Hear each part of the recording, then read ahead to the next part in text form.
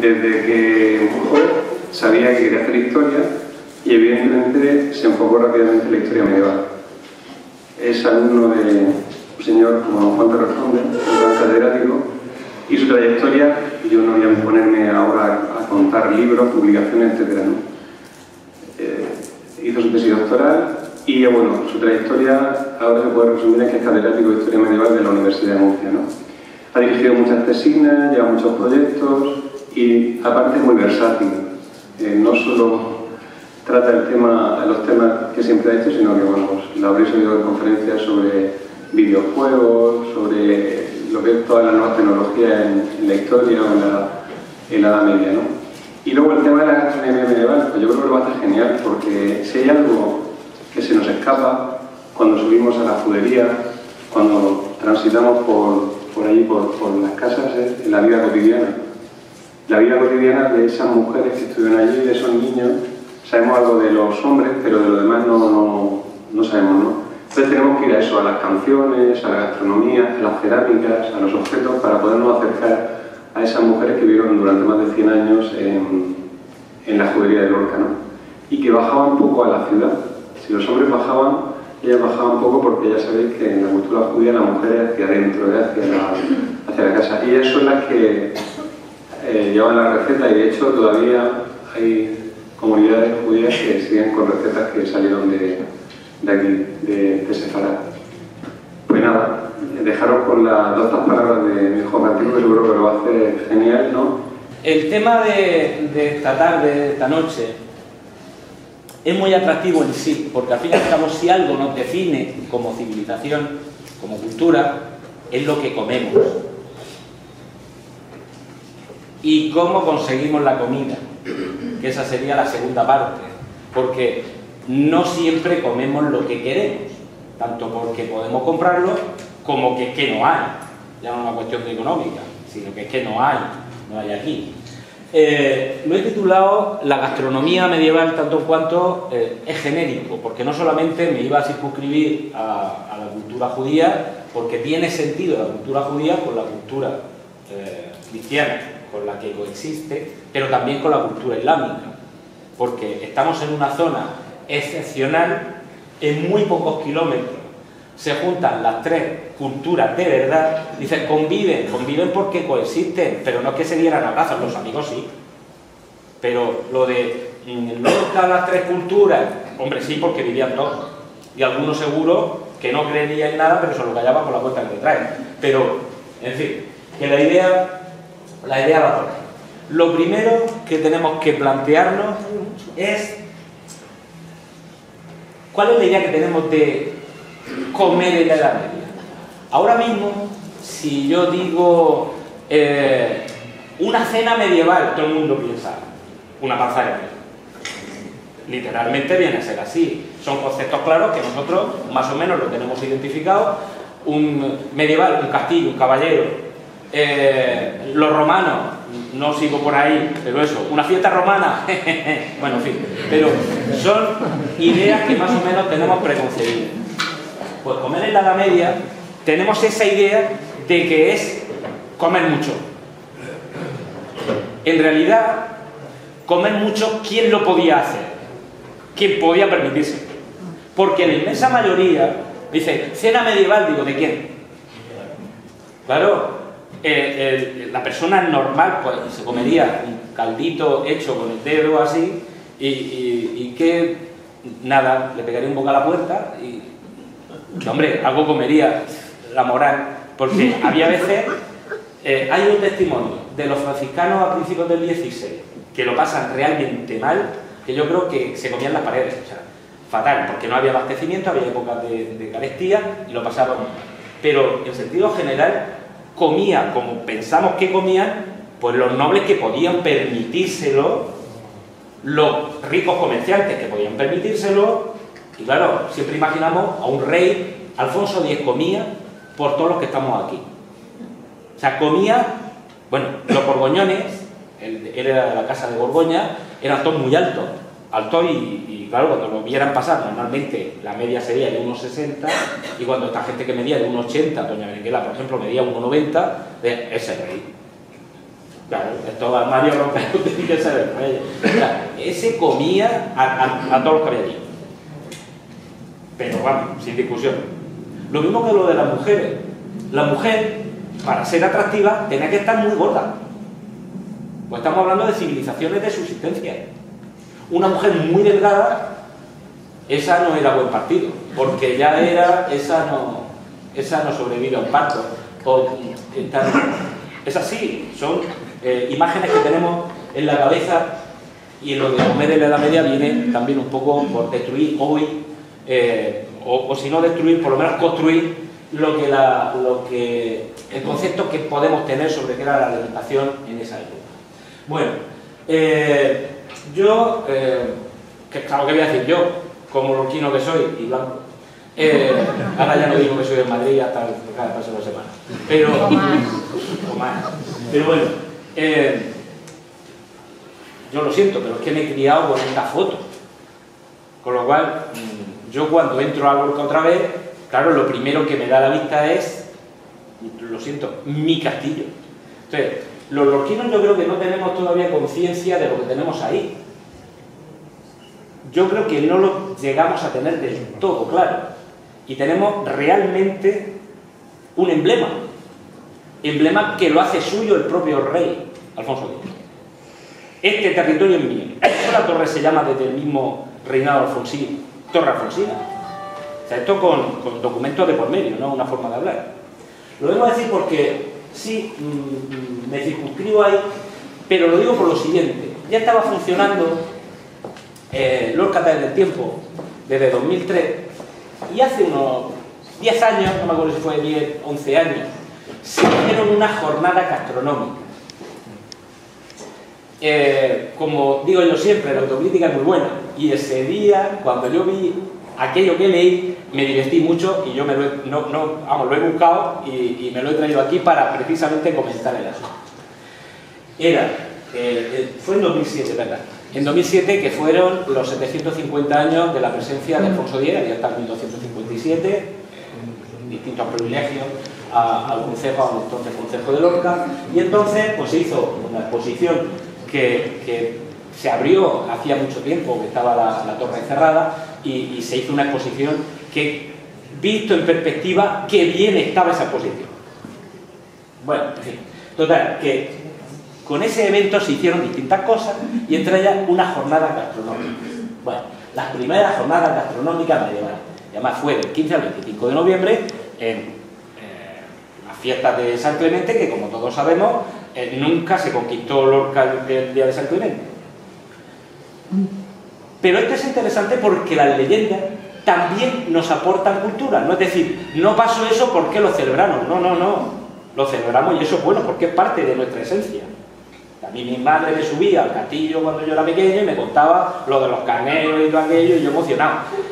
Mi emoción creció más cuando me enteré de la verdad. Primero cayó, o sea, pactó eh, a finales de junio de 1244. Pero el cómo lo hizo fue mucho más impresionante, porque Lorca es inexpugnable, nunca ha caído al asalto. Con lo cual, o te aviena lo que decimos, o no nos rendimos. El caudillo musulmán que había no quería rendirse de ninguna manera, los otros musulmanes que había hablaron con él, lo cogieron, lo tiraron por eh, la muralla y oye, pastar. solución. Diálogo, diálogo, diálogo. Bueno, entre, entre las cosas que, podíamos ver en esas cartas de, la jornada gastronómica, y me acuerdo en su momento que, vamos, que esto no fue debate ni, ah, ¿cómo es posible? No, no, no. Y además yo no me caracterizo por poner el grito en el cielo con estas cosas, no por nada, sino porque si hay un mínimo interés, ya es algo de interés. Mm, siempre mejor algo que nada. Como yo digo a los críos de selectividad, siempre suma más un 0 con 1 con 0. Pero bueno. Y empezamos a encontrarnos en ensalada castellana, plato de doncella. Supongo que pensaría, para las mujeres que no quieren engordar, una ensaladica.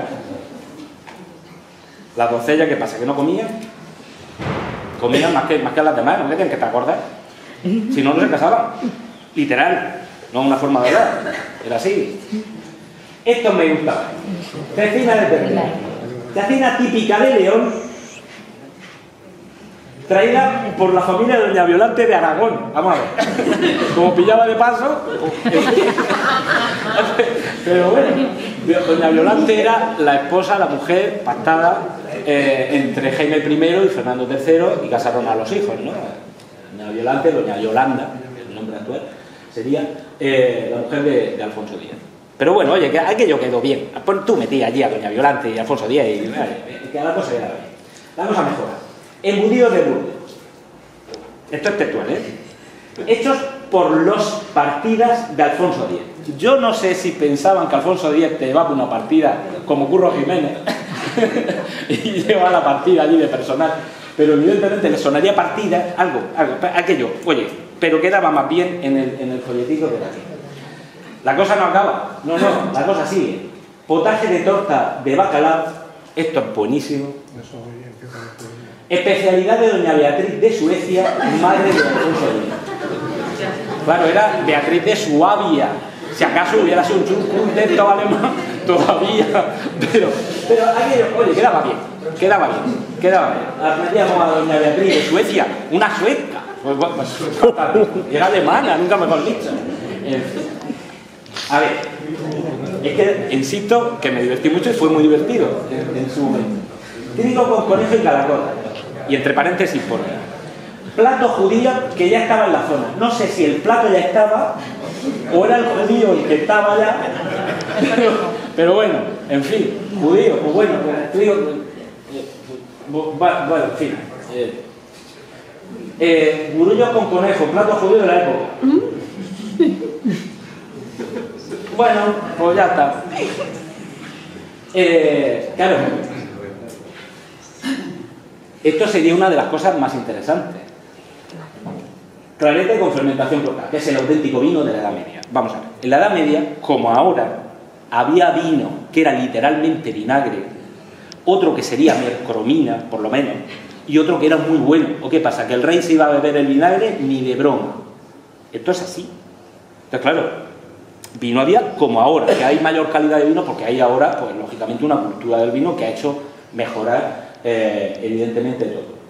Bueno, pues si no decir nueve, pues ahí cabe todo. Ahí quedaba muy bien, quedaba Esto era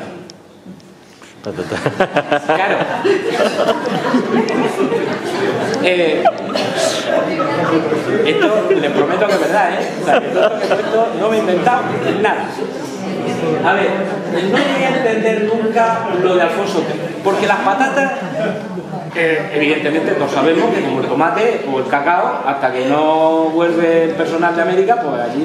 Pero lo de Alfonso XIII, claro, en último término tiene sentido que las patatas estuvieran con Alfonso XIII no con Alfonso X y con Alfonso XI. O sea, en ese sentido hubieran puesto también Alfonso XII y donde mm, vas Trice de ti y cosas así. Pero, o a Vicente Parra y yo cualquier cosa. Pero, eh, claro, esto me explotó la cabeza directamente, pero estaba muy bien, porque la gente entendía lo de jornadas medievales. Esto es lo interesante. Ya no es que hubiera allí, porque el que hizo esto, eh, esto escribía y, ya está. No le, no, le daba. Y entonces, claro, es uno de esos temas que sí nos arrastran mucho los tópicos. Porque al fin y al cabo, ojo, la historia es la memoria que nosotros tenemos de un pasado. Sea veraz, más verosímil o menos. Pero al fin y al cabo también se construye determinados tópicos. A veces son reales, otros son leyendas que terminan siendo medias verdades que nos las creamos o no, terminan configurando una historia. Entonces, claro, ¿qué pensamos? Lo que decía yo al principio, que hay mucha comida y, pensémoslo así, de forma cruda. Allí todos con las manos, cosa que era verdad, porque el tenedor no está presente hasta la edad moderna, finales de la Edad Media más o menos, en el 15 ya, y en determinadas zonas de Italia y en Flandes y tal, pero el tenedor entendido como un trinquete que tú puedes coger allí no existe. Lo normal era una daga, el mismo cuchillo y las cucharas. Las cucharas normalmente, las que eran de metal eran los más pudientes, si no era de madera y a correr. O sea, ya está. Pero el tenedor no. Y entonces, y eso, de medidas a comer a lo bestia y con las manos llenas de porqué. Claro, ¿se lavaban las manos? Si llovía, sí. Hacían así. Claro que se morían pronto. Si las amebas serían así de gordas. O sea, allí el coronavirus, dale, dale el coronavirus aquello, dale, se lo comían, el coronavirus se lo comía también. Con lo cual, esos tópicos están bien porque son comunes en realidad a todas las épocas, pero en cambio han quedado como algo prototípico de la Edad Media. En la Edad Moderna, ¿qué pasa? Que no había grandes banquetes, de hecho es en la Edad Media donde los nobles es donde más ácido úrico tienen, por ejemplo. Claro, ahora, sacaré yo a, Carlito ahora. Sí, sí. Pero bueno, también tenemos la idea de que comían mal, es decir, poco refinado. Dale la vuelta al pollo y me le pego un bocado al pollo.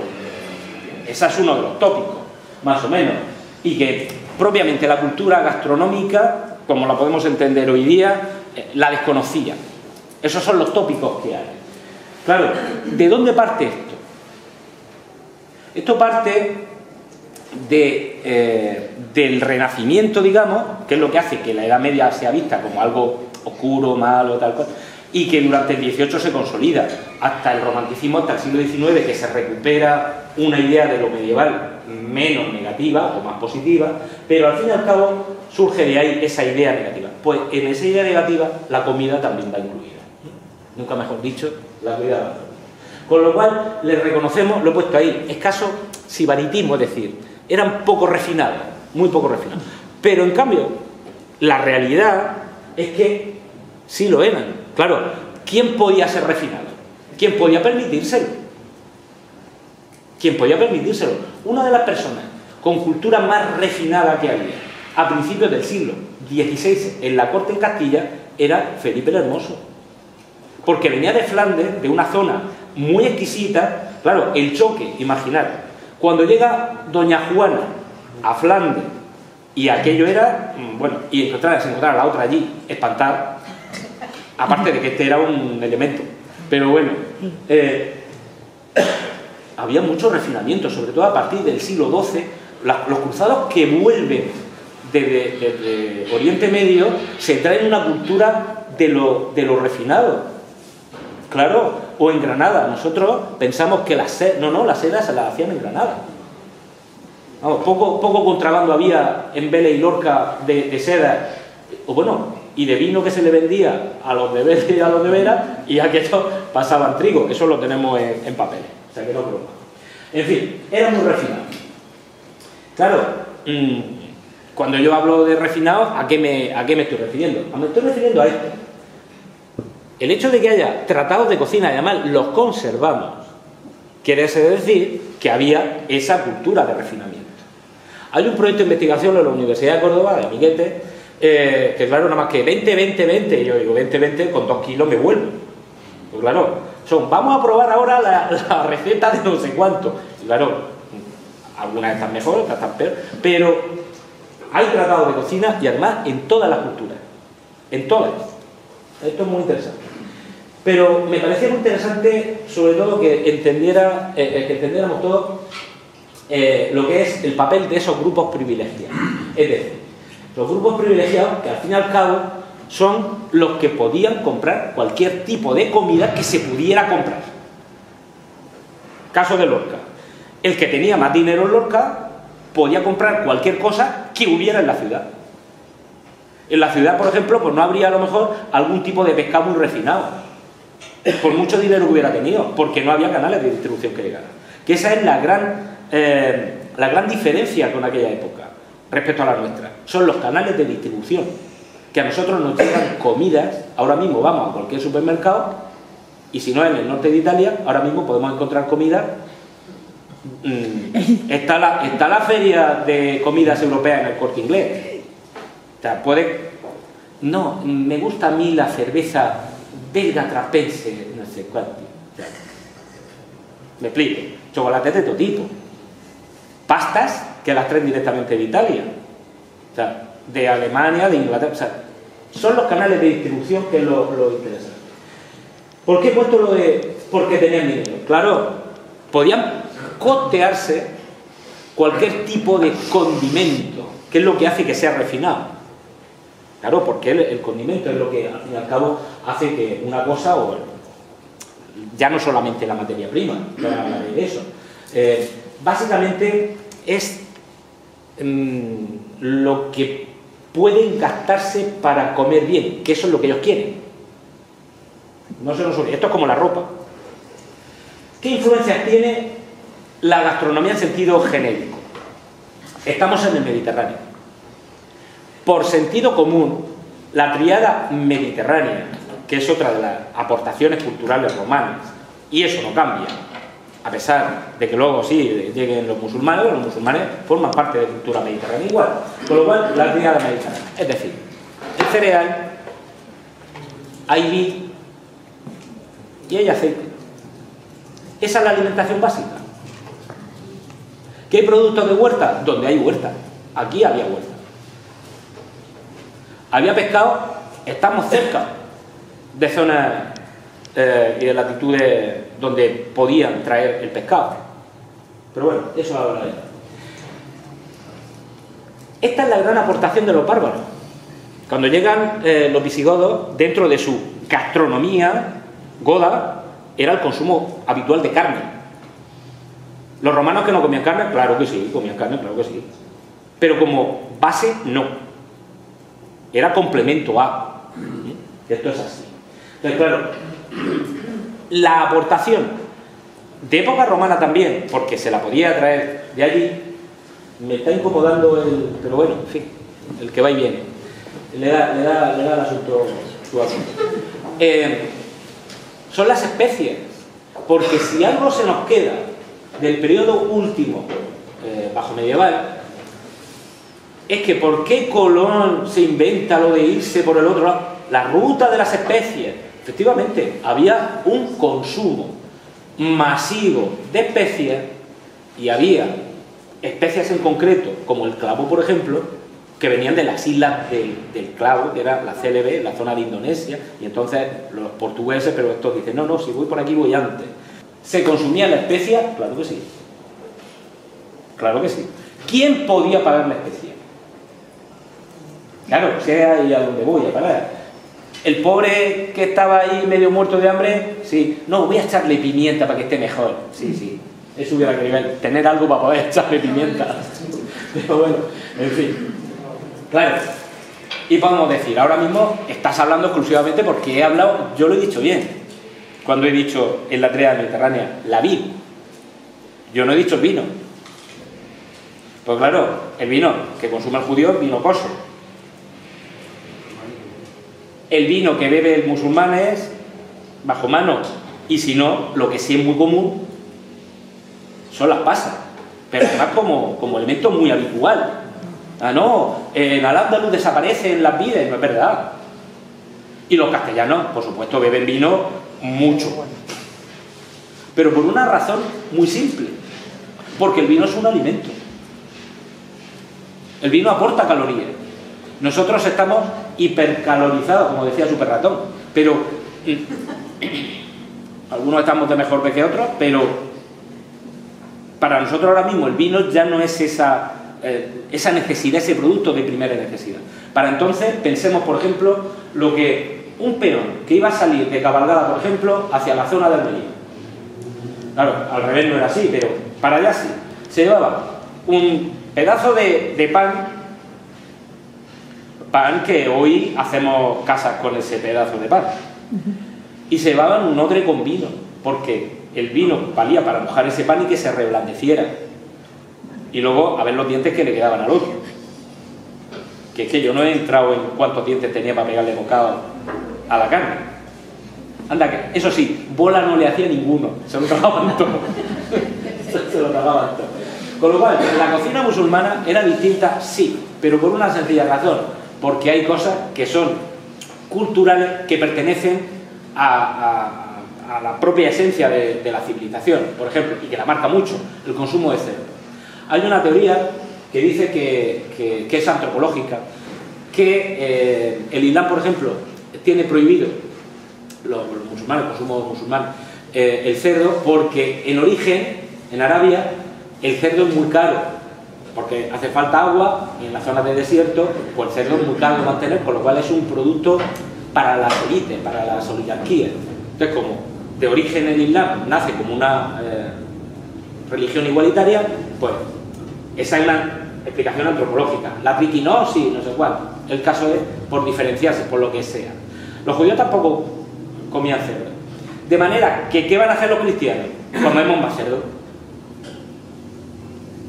Tú comes cerdo, yo no. Mmm, sospechoso. ¿Eres judío? No.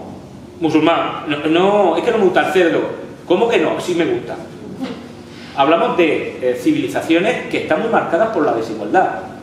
La muerte social era real. O sea, el hecho de que tú estuvieras denunciado por la Inquisición en el siglo XVI mm, te marcaba a ti y a tu grupo, porque no se entendía el individuo solo. Con lo cual, la alimentación pasa lo que es el hecho de, alimentarse y sobrevivir. Es algo cultural intrínseco. Con lo cual, lo mismo que sí, la cocina musulmana existe como tal, de la misma manera que la cocina judía, claro, y sus recetas propias de su propia cultura.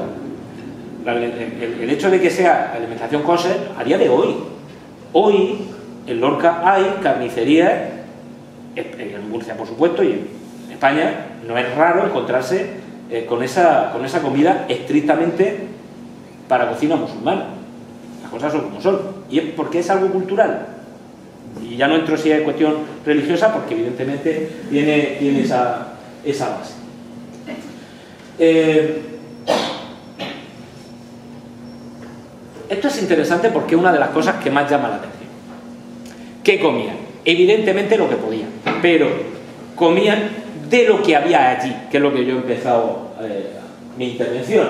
Eh, con lo cual, podemos decir que era muy común esos, esos guisos que se le echaba cualquier cosa que pudiera alimentar.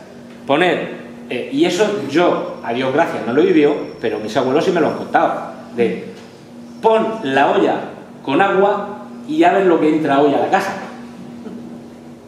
Entonces, claro, esto estamos hablando de hace 100 años, o menos, pero por ahí, por ahí. Pues vámonos 500 o... Entonces, claro, los potajes era eso, lo que haya se le echa y si no, eh, pues nos lavamos las manos ahí, que está cara calentico. Con lo cual, los asados también eran comunes porque, claro, la carne, eh, primero, es más digestiva eh, si está cocinada, no hace falta saberlo, y que luego, vamos, que la carne no se come cruda, nunca.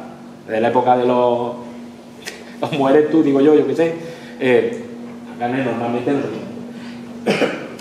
Y el hecho de que hubiera entremeses, también en, la receta, en los recetarios de cocina conservado, el hecho de que haya entremeses nos, nos, dice que también había esa dignificación de la gastronomía. O sea, que había un entremés, que, que, vamos, que sabían comer bien. Que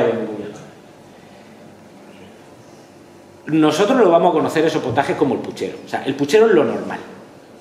En cualquier casa y en todas las casas había un puchero. Vacío o no. Tan, tan es común ese puchero que a nosotros nos ha llegado, en Andalucía es más, común el, concepto puchero de comer, aquí también, evidentemente, pero nos ha llegado sobre todo por otro lado, que no tiene nada que ver. Eh, en el siglo XIX, y sobre todo en, Iberoamérica, eh, no había urnas para votar, se cogía un puchero entonces, si no gustaba lo que había salido, le pegaban un garrotazo al puchero y salía lo que el otro decía. Eso es un pucherazo. Pero viene de ahí, el puchero. Entonces, digamos que es lo común. Ese potaje, insisto, que es lo más extendido porque es lo más recurrido por toda la población. Porque también tenemos que pensar una cosa. Todos los nobles comían y todos los días comían salvajemente, algunos sí, porque además hay que pensar una cosa también. Eh, el que está, el que ha nacido y le han dicho que tiene que guerrear porque es lo que le ha tocado vivir, le hacen los nobles, el noble no puede ir al combate, tómate un caldico, Que eso, claro, la idea que también nosotros tenemos cuando antes daba a luz las mujeres y entonces para que se recuperara le daban un caldico, vamos, que proteína que le daban, en fin. Pero pues esto es así, o sea, esa gente claro que comía y lo gastaba. Un armario ropero tenía que comer porque, y luego moverse con aquellas cosas que siempre digo lo mismo. Eh, ¿qué, ¿Qué piensan ustedes, qué pensáis vosotros ¿Qué pesaba una espada en la Edad Media? 7 8 kilos. 800 gramos. Es que tírate de ahora así. Rafa Nadal, vamos, un, chiste. Claro, tenés que estar fuerte, pero otra cosa es. Claro, es una cuestión de sensatez. Pero la idea nuestra, el tópico es que son espadas descomunales. Y no, básicamente es así. Pues lo de la comida es, algo similar. Los asados. Tenemos también la idea de ese carnero enorme que le van dando vueltas. Y se tiran un día dándole vueltas. Claro, primero, tienes que tener gente para que esté un día entero dándole la vuelta. Sí que es verdad que la carne se hace, bien hecha además, y le van echando su chorrito de lo que fuera, porque podían pagarlo. Y el asado normal, por si tenían un conejo, podían salir, que no lo pillaran de caza, Conejo era muy común, pues salía y había algún conejo, le echaban mano y ya había carne esa noche, pues ese día. Eso es así. Por lo cual el asado también es lo normal, como alimento, como, como proteína, digamos. Ellos no tenían esos conceptos claros como nosotros de alimentarios, pero no eran tontos. O sea, sabían de lo que tenían que comer y lo que podían comer y lo que comían en exceso y lo que. No sabían, ¿verdad? Lo he puesto por eso. Pues claro, un asado de una casa de un comerciante pobre, vamos a dejarlo ahí, o de un jornalero que iba no al día, iba al de ayer. O sea, los asados eran extraordinarios. No era la alimentación habitual. La proteína era más rara. No nos debe sorprender que la edad media de vida en esta época fueran los 35, 40 años como mucho, pero por el propio déficit alimentario. Que no, es que entonces había poca higiene, cierto, pero sobre todo si tú estás mal alimentado durante tiempo, tú no duras. Independientemente de la mujer si tenía 5, 6 o 7 embarazos, se quedaba sin calcio al segundo. Luego la pobre, la madre de Alfonso X, se muere con 37 años. Había tenido nueve partos. En fin. Bueno, pero claro, llega la cuaresma. Eh, que quiero comer asado. Hubo unos monjes, los monjes del centro de Alemania, que dijeron, oh, aquí hay que pensar. Solamente se puede consumir, el Papa no vuelve, el Papa fue, eh, dijo, puede comerse carne en cuaresma siempre y cuando sea de caza. lo que hacían los buenos monjes era soltar los cerdicos y los cazaban. La cabeza está para pensar. También hubo debate a lo largo de la Edad Media acerca de la naturaleza de, los animales. ¿El pollo es pescado o es carne? Esto, hay tratados completos de la naturaleza de, los animales, en serio. Es, carne, eh, no, pollo, es pollo, el pollo no, es carne. ¿Cómo vas a comparar un pollo con un trozo de cerdo, de ternera o de... Era muy apreciado, es que es así. La carne de cabrón.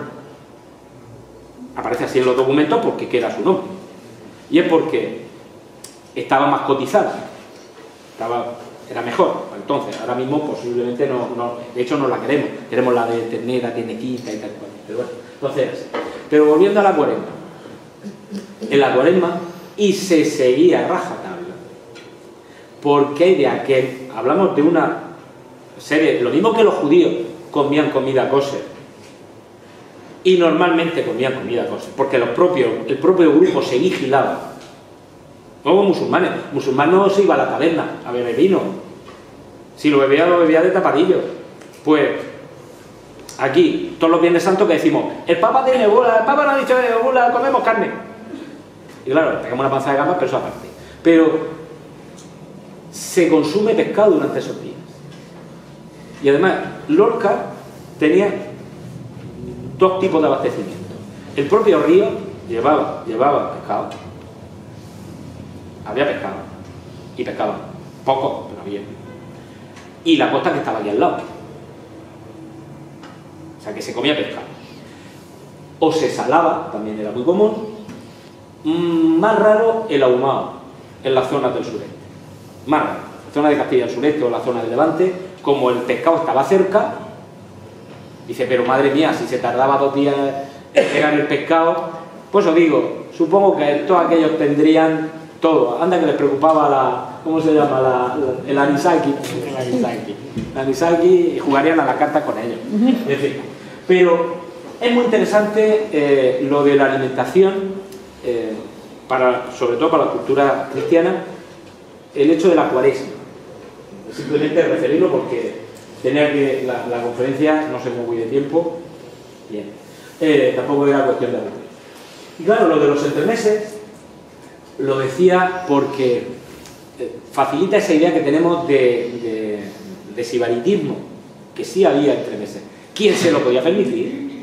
Los entrantes, o incluso entre plato y plato, que fuera más liviano para hacer tiempo. Y había, claro, para hacer aquellas digestiones, había banquetes eh, largos. Además, para poner, yo no he entrado, por ejemplo, en qué mobiliario hay para hacer el banquete, según en dónde. Dice, no, aquí no había mesa. Claro que no, la mesa la ponían. Lo de poner la mesa es una forma literal. Se cogían los tableros, ponían, iba a decir dos cajas de Coca-Cola, pero no. O sea, se ponía la mesa y se sentaba allí todo el mundo a comer. El perro al lado, la cabra al otro lado, y en los, sitios más pobres, la casa es de todo el mundo. Los perros, la cabra que estaba por allí, o sea, literal. Pero claro, ¿qué podemos aspirar de higiene? En fin, el perro allí dame de comer. Cuanto menos. Y luego los niños están pidiendo comida, comida, comida. De ahí de lo de la gran diferencia que digo yo siempre. Lo que nos diferencia de aquella gente a hoy es lo de que hoy ya, cuando seas padre, comerás huevo. En fin. Yo, yo soy padre y, y- los huevos se los siguen comiendo los otros. en fin, eh, que equivocado estoy. Bueno, ¿a dónde voy a Por ir más. Las especias me interesa mucho porque es lo que al fin y al cabo diferencia o, digamos que marca esa idea de la comida en la Edad.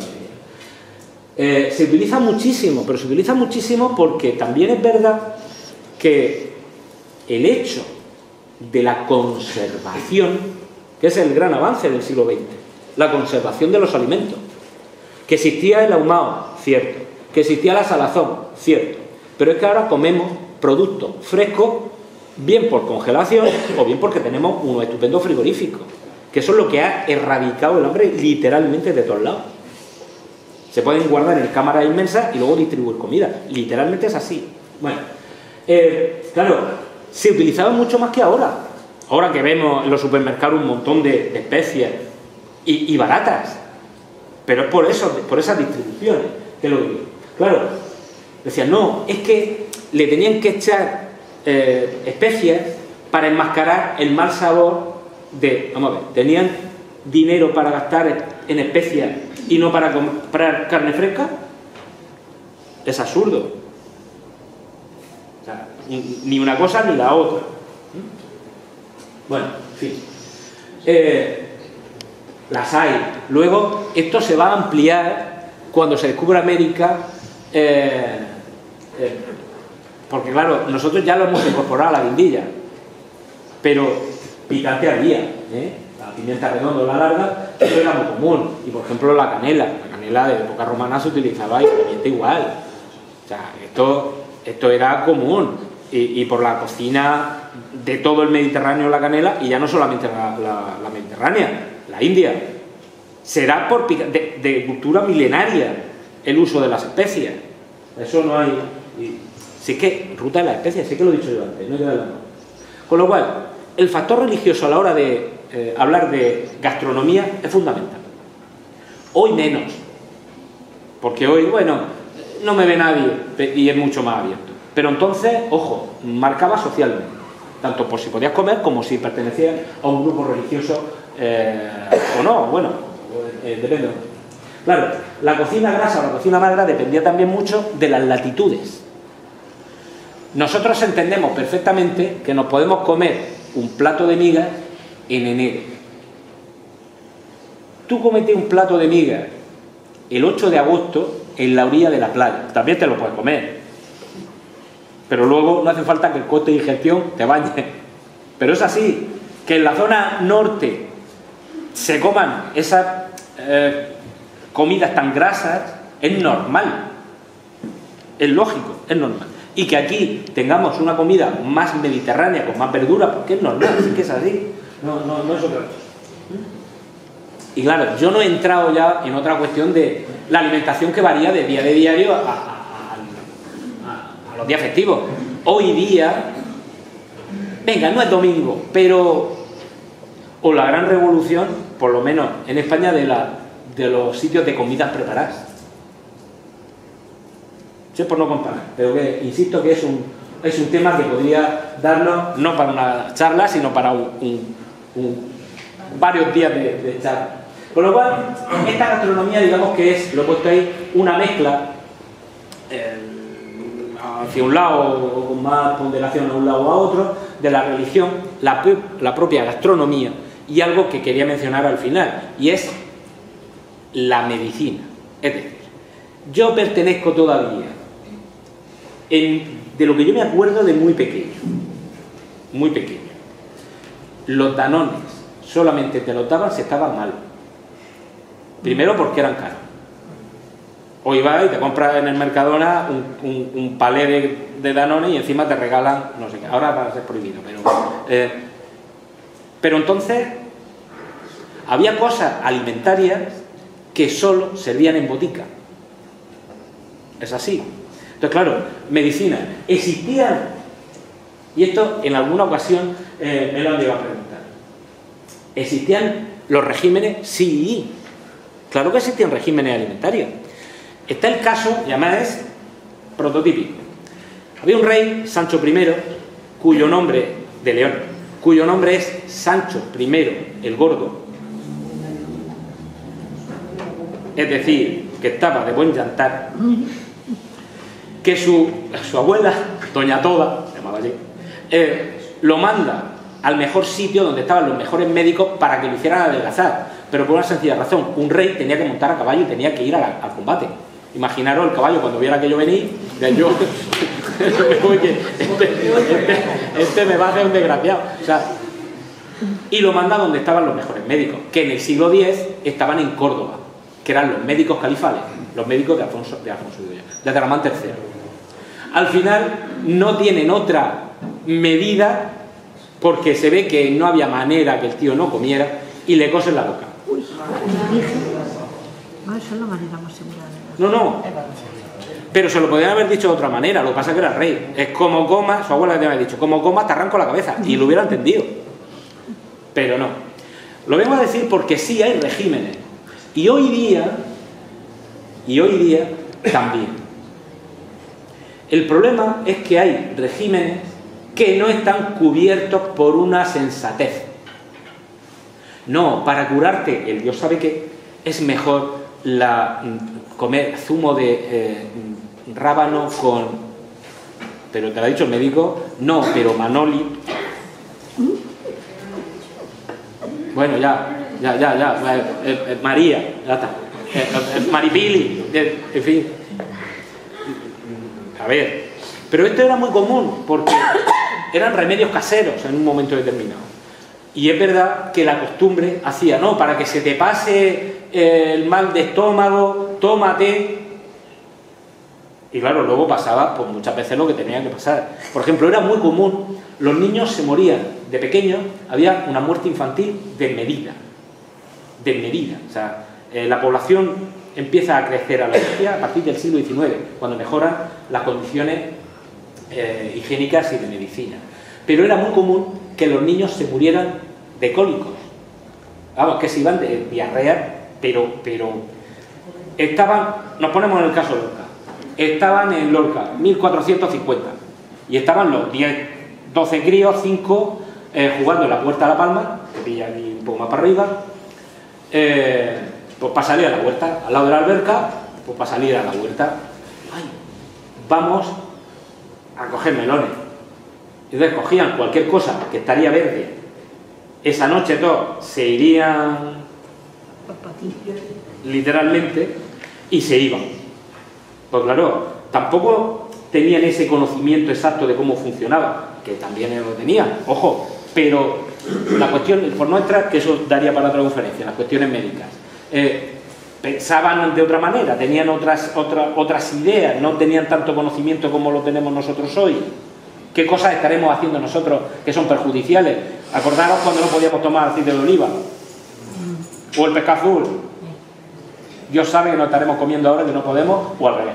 Bueno, lo he dicho por lo de lo que tiene la medicina en sí, las cuestiones gastronómicas. Y estoy terminando. Claro, yo me he circunscrito al Mediterráneo, pero efectivamente la gastronomía sí que define una cultura. Por ejemplo, hablamos de la Europa de la mantequilla. Aquí alguien cocina con mantequilla a día de hoy, muy poca gente. Porque esto es tradicional del norte europeo. Es así. Nuestra cultura es la del aceite.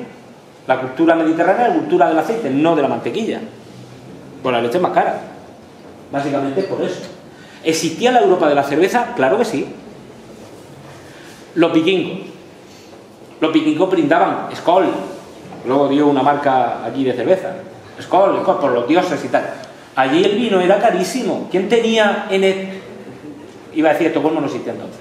Pero en, yo qué sé, en Malmö, por ejemplo, la zona sur de Escandinavia, el vino era carísimo.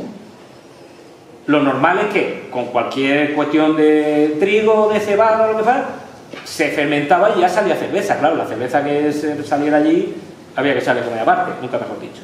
Pero ¿existía la Europa de la cerveza? Sí. ¿Cuándo llega la Europa de la cerveza a la península ibérica? Aquí con el colega. Cuando se viene a España Carlos I, Carlos V, y ya dice, me retiro del mundo y me voy a Yuste, que por cierto hay también hasta una marca de cerveza, se llama Yuste, se trae dos cosas. Lo que él llama su casa de muñecas, ya podéis imaginar, señoras que fuimos, para entendernos, y, y se trae a su maestro cervecero de Flandes. Porque él, él nació en Gante en 1500. Y él hasta los 16 años está en Flandes, bebiendo cerveza. Y a él lo que le gustaba era la cerveza. Si hay otra cerveza que se llama Carlos V. Y se trae su maestro cervecero. Y lo sabemos porque luego le da privilegio específico. Tenemos esos documentos. La corte, como ve que el rey bebe cerveza, ellos también. A partir de, siglo XVI es cuando se empieza a extender el consumo de la cerveza en la península ibérica. Hasta entonces no. Durante la Edad Media nadie consume cerveza en la península ibérica. Con lo cual, es un montaje, no que tuviera ahí con la... pues casa.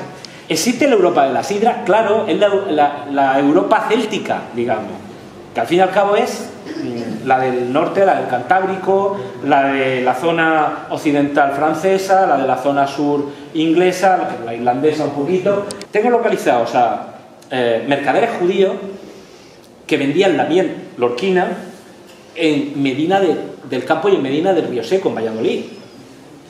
Era muy buena, había mucho campo, estaba despoblado, con lo cual allí estaban las colmenas, pero las colmenas no había que irse muy lejos, no, no, las colmenas incluso cerca, la calle Colmenarico, por algo. Pero esto es muy interesante porque desde Lorca, bueno, desde Murcia en general, hasta que llegamos a bien entrado Granada, eh, son zonas normalmente ganaderas, a excepción de las zonas que están más concentradas en las zonas de regadío y de muerte, las de seca. Muchas veces eh, los robos que se hacían en la frontera era quitarle al otro las colmenas, los hornos de miel que aparecen en el documento. No aparecen colmenas, aparecen hornos de miel. Con lo cual, ¿cuándo aparece el azúcar? El azúcar ya de finales del 15.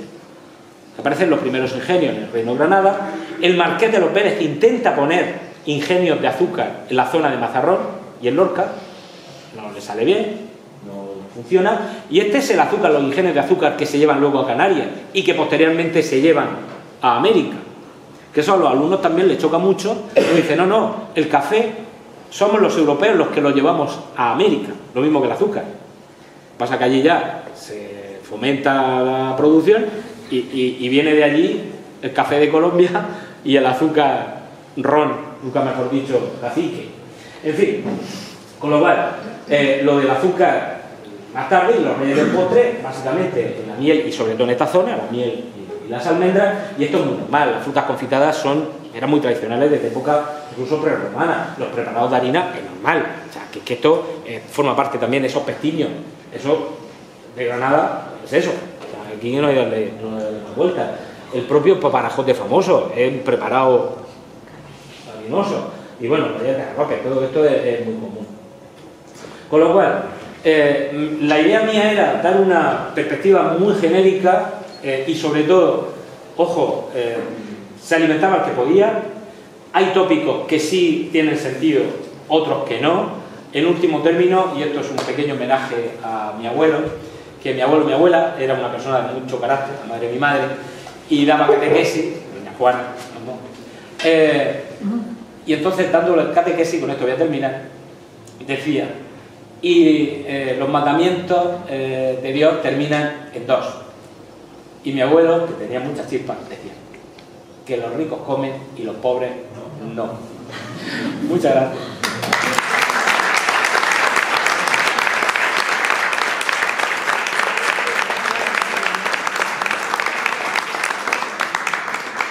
Eh, sobra decir que preguntas que queráis hacerme, o dudas, o si las sé responder. Venga, pues voy a empezar yo. ¿La cuaresma desde cuándo es?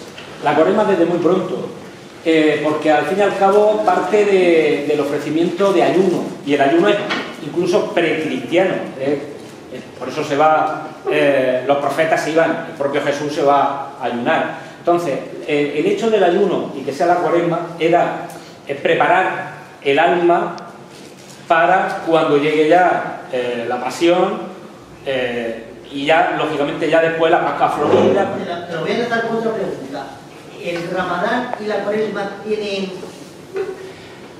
Pues en realidad es que forman parte de preparación del cuerpo, para, en el caso islámico, para el cordero pascual, también el cordero pascual, la fiesta del cordero, porque Pascua es paso. O sea, claro, eh, son ayunos voluntarios que luego lógicamente se incorporan a la propia cultura, que influyen no solamente en la alimentación, influyen en muchas otras cosas, desde los propios oficios a que el ayuntamiento carnal no estaba permitido. Está claro, digamos que es una forma también de vigilarse el grupo, esto es antropología, de vigilarse el grupo. ¿El bueno el ramadán, para- la salud? Yo, esto opino yo, yo soy católico, practicante, y yo, si tengo que comer el viernes carne, como... Digo el ramadán, no el. No, no, yo, eh, que, que cada uno haga lo que quiera. Yo el Ramadán dice, hombre, yo, los futbolistas estos que dicen, no, eh, que rinden menos, claro, si se tiran todos los días sin comer. Entonces, está permitido que las embarazadas, los enfermos coman. Si está permitido que las embarazadas y los enfermos coman, hombre, para la salud. Pero lo que se pide precisamente es un esfuerzo. Lo que se pide es un, es eso, un sacrificio. Venga. El jamón serrano, ¿cuándo empieza? Pues jamón serrano, sobre todo si es ibérico, vamos, no confundir, que no lo mismo. Eh, el jamón serrano, tenemos constancia, que yo sé, tenemos constancia de curación de carne de cerdo que sepamos, por lo menos desde época romana. Por lo menos. Tiene lógica. Porque tú matas un cerdo y ¿qué haces con toda esa carne? Claro, supongo que en época prehistórica, y esto yo ya no sé, el mamut lo mataba. Y allí no podían conservar el mamut. Y uno no se iba a comer un mulo de mamut. La tribu no sé si lo ahumaban, normalmente lo ahumaban. El, el- hecho de, de ahumar la carne no es raro. No es raro. La incorporación de, de la salazón es lo- la novedad. Claro, eh, no sé exactamente si esa tradición de, jamón curado, al fin y al cabo es jamón curado, que los, los italianos tienen el prosciutto, eh, eh, que yo he llegado allí Y, claro, yo digo, esto es jamón. esto es jamón. En fin, pero que sepamos, en la Edad Media, que sepamos, se comía jamón. Pero claro, se comía jamón en un jamón curado. No sé hasta qué punto el que nosotros, nos, el ibérico, claro, nosotros también ya diferenciamos eh, el ibérico del jamón serrano porque cuando entra de lleno la explotación del, del, del, del cerdo rosa, para entendernos, de la marca, de la marca digo yo, de la raza Yorkshire, eh, eso es de finales del 19, del 19, porque eh, el normal, el cerdo habitual es el cerdo negro, el cerdo hebreo. Claro, y ya nosotros, es que nuestros paladares nos hemos mal acostumbrado, La sal, la sal era cara. muy cara. La sal era muy cara, en época romana salario viene de ahí. Salario viene de ahí. Lo que pasa es que luego cuando empiezan a abrirse eh, montones de, explotaciones de sal, tanto si era mm, eh, sal mineral, sal, eh, que no era básicamente para consumo, pero para conservación sí. O luego las propias salinas, bueno, en Torrevieja teníamos una estupendísima. Había también de, de, de tierra, ¿no? De- las minas.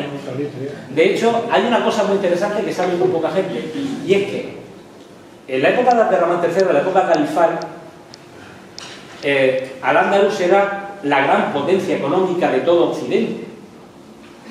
No solamente exportaba madera a todo el Islam, la madera peninsular se exportaba a todo el Islam, sino que la sal gema que se exportaba desde la península ibérica llegaba hasta Escandinavia. O sea, comerciantes eh, venían a por y se vendía en los mercados en Londres, en París, que París era cuatro casas de Córdoba. Córdoba era la ciudad gorda, la grande, la buena. Venga, y una última, el escabeche. Eso de siempre. Siempre. Los escabeches piensan que el vinagre eh, es parte esencial y entonces, ¿cuándo se le incorpora el escabeche? Que no siempre se hace de la misma manera en, cada sitio. Entonces, claro, el escabeche básicamente es una cuestión de conservación, porque el vinagre en sí lo es. Entonces, claro, los escabeches sabemos perfectamente. Los romanos y los griegos ya lo tomaban eso. Pues yo no he entrado tampoco en la tradición eh, griega, que es mediterránea. Si es que nosotros vivimos en, en un sitio donde hay una tradición gastronómica milenaria, literalmente. O sea, los escabeches, en cuanto empieza a haber cierto sedentarismo y ya que hay que conservar los alimentos, desde época neolítica, eso seguro. ¿El es romano o es anterior? Pues a mí siempre me han dicho que es romano. Un día yo recuerdo que García del Toro me decía, Juanfran, prueba garum. Y yo, no. Hombre, no. Digo, tú piensas que yo soy medievalista y a mí me gusta un chuletón guapo. eh. yo no garum, la verdad. Pero eh, no, no era, yo creo que no sería tampoco muy extraño que hubiera algún tipo de pasta de pescado Digo yo, o sea, esto ya es una opinión, no, no es un criterio. ¿Qué tipo de comida sea, había en las tabernas medievales, o había A ver. eh, comida de élite o no. No, bueno, las tabernas, eh, hay que pensar una cosa, a la taberna no se iba a hacer nada bueno. Primero, en la taberna es donde también estaban las señoras de mala vida, que pertenecían, por cierto, al concejo. O sea, el concejo, era, el, el concejo cobraba una renta. Hasta 1621, las señoras meretrices pertenecían, entre comillas, la alquilaba el ayuntamiento, que sacaba su renta. Eh, en la taberna básicamente era vino, básicamente era vino, y cuestiones ya más puntuales de algo de carne más concreta que se hacía o alguna cosa de comer así de puchero, nunca mejor dicho, pero básicamente era vino. Al punto, que eso ya también lo sabemos, y yo creo que también la mayoría de los que estamos aquí lo sabíamos, eh, cuando se regula ya en el siglo XVII lo del tapeo, se ponía la jarra y entonces se le tapaba con una... eh, yo, yo no he dicho qué es lo que se hacía, normalmente toda esa grasa y todo eso se cortaba el pan y se comía con eso, se comía pan con cualquier cosa. Ahí, porque era alimentarse de cualquier manera. Pues bueno, lo de la tapa viene de, ahí, se tapaba la jarra de vino, para que no fuera solo vino, y fuera con tapa. Aquí la cobramos, en Granada no, y en Almería está la lija. O sea, qué lástima que no llegue aquí a Almería. Se acostumbra uno a Granada y Almería y luego viene aquí y es un trauma. Los fritos y los embutidos. Bueno, fritos dependiendo de los embutidos siempre. En cuanto se empieza a conservar la, la, la comida, lógicamente eh, el embutido está de lo suyo. Y los fritos dependiendo, porque en zonas de la Europa de la mantequilla, pues el frito es diferente al que por ejemplo está la Europa del aceite. Pero vamos, sabemos perfectamente que se freía en, en los griegos y los romanos, era muy común, si tenían aceite de oliva. Eso era muy, muy normal. ¿Y los quesos? Los quesos, en cuanto se empieza a aprovechar la leche, la leche está consumiendo la Europa desde hace 5.000 años. ¿eh? Por eso lo de eh, el no lactosa está ahora de moda porque somos intolerantes genéticamente a la lactosa. Los quesos son una forma de consumir la leche que perjudicaba, pero es que había que aprovecharlo todo. O sea, yo siempre, siempre he pensado lo mismo. ¿Quién sería el primero que descubrió que si se quedaba el queso? Pues supongo que sería como la cerveza. Ay, que se ha quedado aquí el grano. Y, claro, como se comían cualquier cosa, porque antes que tirarlo y lo colgaba, oye, pues esto no está malo del todo. Y bien tirado, entonces claro, eh, supongo que ese tipo eh, también es la costumbre. Lo interesante es que en determinadas culturas, por ejemplo, el arroz, el arroz entra en la península ibérica en el siglo XII. Además, de hecho, Murcia es una de las zonas de producción de arroz en Andalucía. Y lo mismo que, por ejemplo, eh, al principio, las naranjas, cuando entran, hay lo que se llama, eh, lo que conocemos los historiadores, la revolución verde. En el siglo IX, en, el califato abasí, empieza a haber una multiplicación de, productos de huerta, y eso dieron también al ándalo. Y, y, bueno, y se producen en zonas, en zonas. Los cítricos. Al principio, la naranja es ornamental. Por eso el patio de los naranjos era que hacían bonito. Hasta que empieza a, consumirse mucho tiempo después. Pero al principio eran ornamentales. Entonces, claro, ¿cuál sería el primero que llegara y... ¿Cómo está esto? Pues supongo que se le pondrían los dientes como el carpia, pero es lo mismo que yo he dicho lo de los niños. Esto está bueno y eso, aunque sea ensayo-error, mismo que las sociedades prehistóricas, era ensayo-error, básicamente. ¿Y hay alguna información sobre cómo apareció el crespillo aquí? Pues había que ponerle, yo sinceramente, en Murcia le han puesto un monumento a Germán II, que fue el que fundó la ciudad. Yo en Lorca, aparte del procesionista, que yo le pondría un monumento al tío, o a la- seguro que era una mujer, que son más listas que nosotros. Eh, y dijo, esto tiene que estar bueno. Oye, ya que no. no, no sé, cuando eh, mis abuelos comían crespillo, o sea, no sé de cuándo, no lo sé. Pero vamos, yo, un monumento. Y además yo llego y siempre cargo, y ahora se vende por la todos lados. característica ¿no? que solo está aquí en la región, en el sur de, de Murcia y por, y por Castilla y León. Eh, Al fin y al cabo, sí. Sí, pero también forma parte también de la tradición cultural. En Argentina, por ejemplo, se comen la pasta de garbanzo, que se la come además con todo, o las arepas en la zona de Colombia. Entonces, claro, el por qué se, se hace además. Eh, que ahora yo cuando estudiaba en Murcia, eh, estudiantes, cuando veníamos, éramos seis en un piso, los seis de Lorca, eh, veníamos y veníamos cargados de crepillo. Ahora ya puedes comprar crepillo. Pero incluso aunque los compres allí, dice, ¿se ve que pasa al amo? Y le pasa, algo le pasa. Bueno, le garantizo que en la feria de artesanía que ponen en Navidad han puesto impuestos de crespillo y había un montón de gente, un montón de gente en los belenes, otro montón de gente en los crespillos. Y siempre a, a mitad de día ya no había crespillo. Y en mi casa, que han tenido la desgracia de no nacer en Lorca, mis hijos son de Murcia, pues para ellos, pero. Y nunca te vuela, la desgracia. Eh, podrían haber nacido en Lorca y ser blanco, pero bueno. Eh, pero están enviciados, como yo digo. Y siempre yo llego y no me preguntan cómo está, cómo ha, ha habido tráfico, no, no. ¿Has traído crespillo? Pero dice, no, sí. Además yo sé que me toca ahora y ya sé dónde comprarlo antes de salir. y no broma.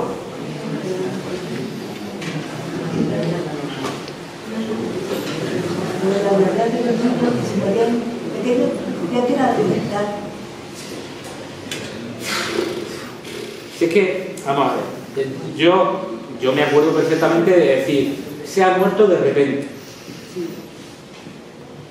Lo, Ya, ya. al ser el fuego de los que botaban los bebés